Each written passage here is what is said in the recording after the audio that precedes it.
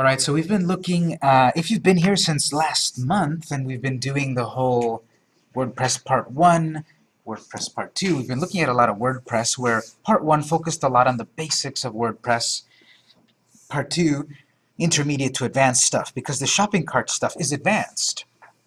Not everyone needs to do this or know how this works, but those of you that have chosen to take the class this far, um, you're learning the concepts of selling products online. And that's a very powerful thing because that means anyone can be a business person and sell any kind of product online. Physical products, virtual products, services. So the last time where we left this, I'm looking at the I'm looking at the visit site portion of my site. I'm looking at it as if a as if a new customer came to my site. Remember, that's just switching back and forth between the dashboard and visit site. And so I'm on I'm on visit site just to take a quick look to remind myself, you know, a week ago was a long time ago, wasn't it? So as I recall last time what we did was we set up our menu so that we have the shopping cart screen. We renamed it from simply products page, which was very um, sterile. And uh, that was editing a menu, which we've done before. Then we added a category of cakes, and we've got these other pages. Remember the cakes category was created via um, creating a page and adding that to the adding those products to the page. Let me remind myself of one thing. If we go back to the dashboard, if you're not there already, we'll go to the dashboard and let's go to products categories. I want to see which ones we've made so far. Okay, yes. So if you go back to products and categories, it shows, in my case at least, I've got cakes, cookies, and pies, and it shows that I've added two cakes, I haven't added any cookies yet, and I have one pie. So on the front end, if someone goes to the link, you don't have to do this, but remember if you go to the shop and then cakes, it's only going to show the things that are tagged that is that are categorized as cakes, anniversary cake, birthday cake. If you go simply to the shop, it'll show everything. There's anniversary cake, there's apple pie, and there's birthday cake. So the shop link shows every product, and then the cakes page only shows cakes. Let's take a quick refresher uh, to create a brand new page here for pies, because I have at least one pie that I can show. I'm showing cakes, I want to show pies. And if a person wants to see everything, they go to the shop. So this will be a little refresher. Let's go to the dashboard. The way that it works is that if I want a category to be shown on a, on a screen, I need a placeholder. I need a page placeholder. So up on the Pages link, let's click Add New. I'm going to add a new page. This will be a placeholder. Um, add new page. And then at the top we can call it whatever we want because this name that we add here can be different from the permalink. The permalink is the URL. The URL could be more SEO optimized than the title. That's fine. But for the moment, I only I want to show pies, so I'll type pies there. If you then click inside of the text area, it should show you, okay, this page is going to be called your site blah blah blah slash pies. If I wanted that to say something else like affordable pies, if I wanted my address to be mysite.com slash affordable dash pies, that could be a little bit more effort to fully SEO optimize my my site. Maybe I want to be found for affordable pies when someone searches affordable pies. What if they want to be found uh, by, what if I want to be found by um, uh, affordable, vegan-friendly pies in San Diego? That could be an address, a web address that I craft for this screen instead of simply pies. This page being called pies, I'm a, I could be a needle in a haystack. But if you click Edit and say affordable dash vegan dash pies dash San Diego, and notice I'm using dashes between each word. That's what you need to do. You don't want to run them all together because then it looks like one long word, which doesn't make sense. You don't want to use spaces because you want to avoid spaces in web addresses. Notice it's all lowercase also. That's the standard convention. Even though the page is going to say pies, visible to people, the search engines would see it as affordable vegan pie San Diego. I think that's a little overkill, but I'm just showing you that you can, I would simply call it affordable vegan pies. Um, that I'm showing you that you could craft your addresses like that because that's one of the things the search engines look at. The other thing, of course, is the content of the page. So I didn't leave San Diego in the address because perhaps within the content of the page, I will mention San Diego or on the meta tags or meta description, which uh, I'll touch on a little bit later. You can change that if you'd like or not, but now that address for that is victor.com, victorsbakery.com slash affordable dash vegan dash pies. And I want to display all my pies. This is going to be a placeholder, and there's a short code that will automatically take every pie that I currently have and any future pies that I add, and they will automatically go on this page, like this. Click in your editing area, and the very last icon on the first row looks like a couple of little credit cards there. Click on that. It has a weird name if you hover over it. I actually think that's a bug. They never named it because that's remove link and that one is align center and that one is it's sort of like don't forget to put a description here and they did with that little icon there. Go ahead and click on it. What category of content would you like to show on this page? I want to show my category of pies. I currently have one pie, but when I add seven more, they will all automatically go there. So select pies and then insert. There's a bunch of options, but we don't need to usually worry about them. Just insert pie. And the code that it writes it's for us is WPSC underscore products space category underscore ID equals 9. Internally, WordPress sees our pies category as ID number 9 in the database. And then that code is saying display all products in that category. It would be nicer, maybe in a future version, it would actually say category ID equals pies, so that I can easily tell what it is, but we have to leave the numbers, we have to use the numbers. That's all we need on this page. Go ahead and publish it, because what will happen is then once someone visits that page, it will automatically display all products in that category. Number 9, which is pies. Um, any questions so far? Before we go look at our result, we've got a brand new page. And our pages do not show up automatically in the menu. So we have to remember to do that. Because if I were to go to the visit site, uh, go to shop, mm, no pies. The default in our case is that the menu does not auto-populate.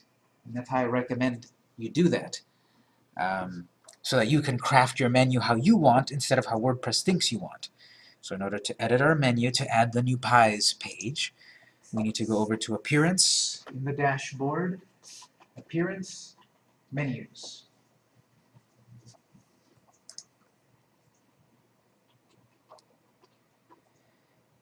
Go to the Appearance section and then Menus, and then you'll see on the right side there's our menu structure, and we're missing an item missing pies. You see here the most recently edited pages will show up there.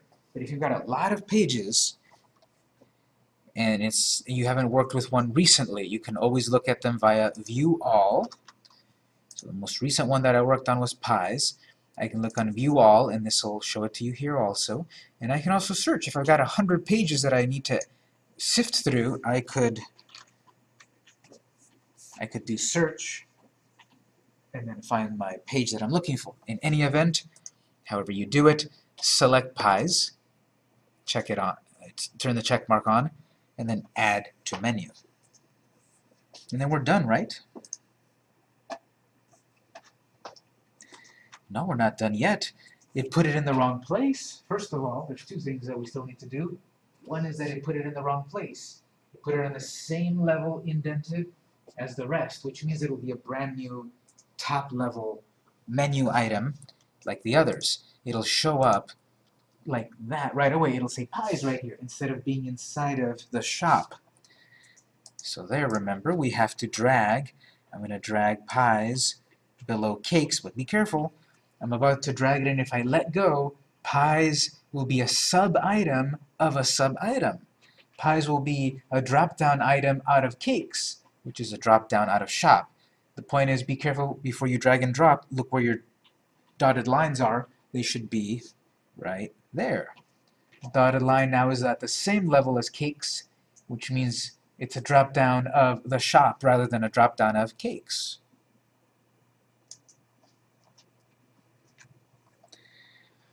And then the last thing is remember to save. This won't become permanent until you save.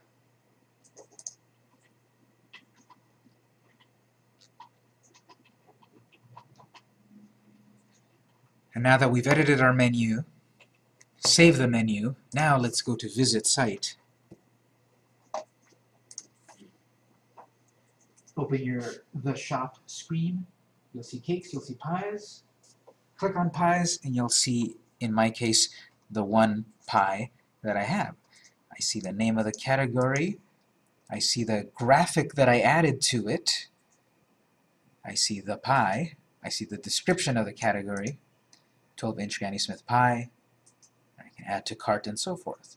And if you also look at the address, there's the name of my site, slash affordable vegan pies.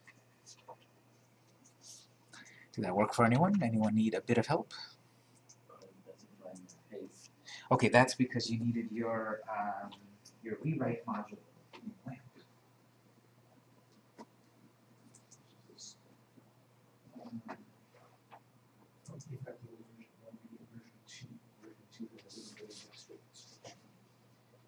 that means is click on the W there, on Apache, and click on, that's right, uh, Apache module, scroll all down to find rewrite module.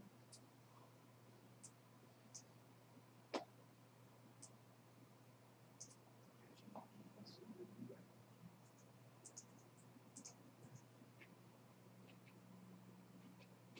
This is an extra that was the- so if we do- This is what changes. Yellow, yellow, and red, green, okay, good, so now click on it again and see if it works. Yes. Okay, so we can print out version two of number four, because that, there's an extra instruction. Okay. Actually, so going on the pages, because I couldn't find it, so I went back to recreate it. Um, I just saved drafts and then it publish, or just, Yes. or just publish alone work.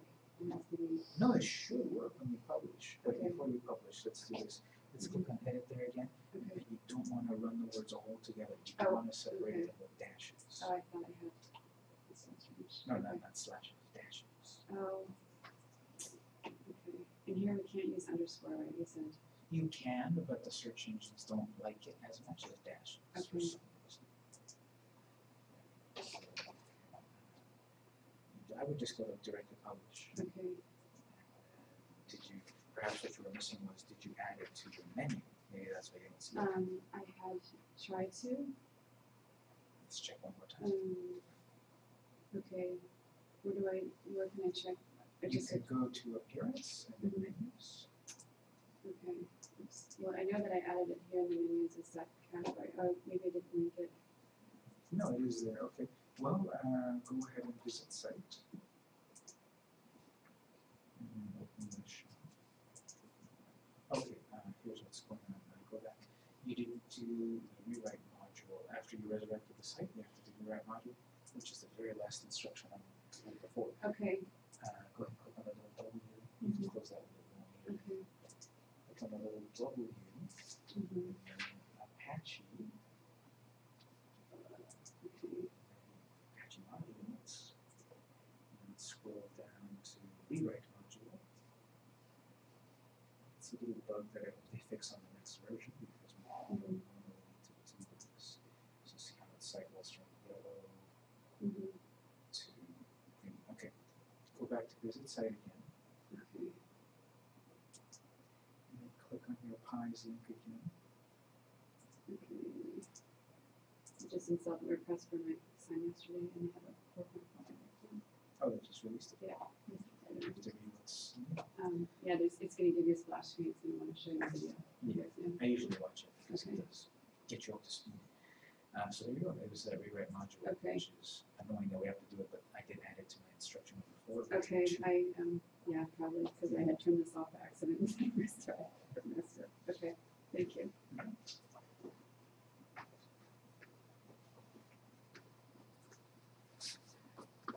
Okay, so that was working with um, adding another page to the screen with um, with a new category. What I want to work on is talking about variations, which are semi-complex. That's why we didn't get to them last time.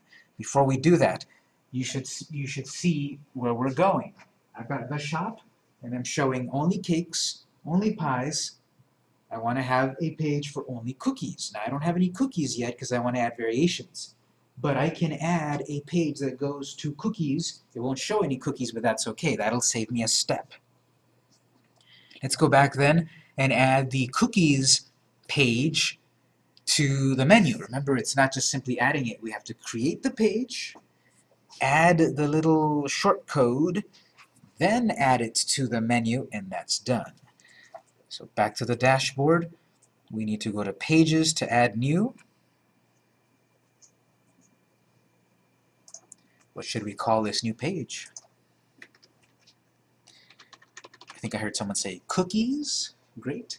So we'll add cookies. Uh, I'm not going to worry about changing the permalink because uh, cookies is fine, but again, we can change it if we want. Good. Next, we'll add the category of cookies only to this page which is again that little credit card button there. I don't know why they have a credit card button. It makes me think it's some sort of payment method, but that's our button that we need. Click on that, and it says what category? Cookies category. Insert it. So in this case, it shows that category ID number 7 apparently is cookies. Save that. I'm sorry, publish it, you should be able to publish directly. And now that I've published it, I need to add it to the menu. So back to Appearance Menus. The last document that I worked with was cookies, so notice it shows up last or first. Go ahead and uh, check it on and then add to the menu and then arrange it. cookies is in the wrong spot, so I'll rearrange it. I'll put it uh, wherever, but I'll, I suppose, under pies, and then save.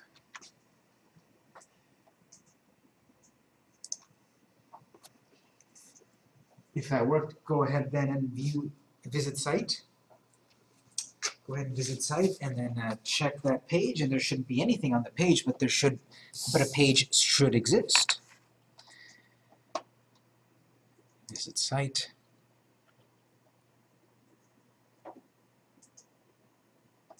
Under the shop now I've got cookies. Click on that. Here's the graphic I added for cookies, the description. There are no products in this group. Okay, so that's what we're going to do next. We're going to create some cookie products. Is everyone on the right spot? Curious uh, little side note. There's apparently there's apparently five updates. Akismet duplicator, Jetpack, and the theme, as well as WordPress itself. So we're not going to spend time to do updates, but we've talked about updates before. Apparently there's a new version of WordPress 4.4, new versions of some of our plugins, especially Duplicator, that went from version, oh yes, so that went from version 0534 to version 1.1. That seems to be a big update. When I talked about updates previously, I said uh, that it's usually in three numbers. The littlest number is a small update. I mean, the rightmost number is a, a small update. The middle is a relatively large update. And the first digit is a big update. So in this case, WordPress just did a little, little update. Uh, Akismet, another little update. But duplicators seem to have made a huge update. Maybe they added brand new features, extra stuff. Uh, we won't do the update, but I'm curious what are the details, and I noticed that what these guys do is they don't give you the detail right away. You have to go to their website. You don't have to do this. I'm just curious what the changes are. It's no longer in beta status. After four years in beta, we're moving to 1.x status.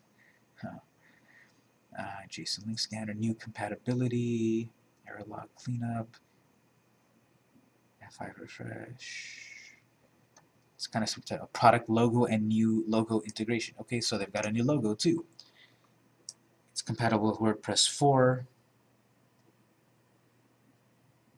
Apparently they fixed something with Windows XP. So sometimes these updates are technical, but usually they're they're positive. They increase capabilities or solve security issues. And I highly recommend that duplicator plugin. And one more little segue, then we'll we'll get to it. Uh, if you didn't get the e-commerce uh, number 4 version 2 of the site, version 2 I gave in this class, where it's got the part about um, the rewrite module, but I've also got there a link to purchase Duplicator Pro. If you follow that link, you get a discount on it. Normally it's $59. Follow the link, it's $39. The point of that is then you get Duplicator Pro, which has more capabilities. I've been using it recently and I like it. Uh, I like that it has these extra features. It's faster, it seems to work better. And that's always the case, isn't it? You get a lot of free stuff online and you pay a little bit and you get a better version. $39 is, I think, really good because then you can use Duplicator Pro on, I think, three sites. Usually you buy a license and you can only apply the plugin to one site. Then you have to buy it again for another site. Duplicator Pro, it looks like, I believe they let you use it for three sites. Extra cool features. Follow that link for the discount, because if you don't, it's $59. And my company uses it and we like it. And I'm getting that from my PDF in the network folder. Instruction number 4, version 2. If I, didn't, if I didn't make it clear enough, there is a version 2 of it which mentions a couple of extra instructions and the link.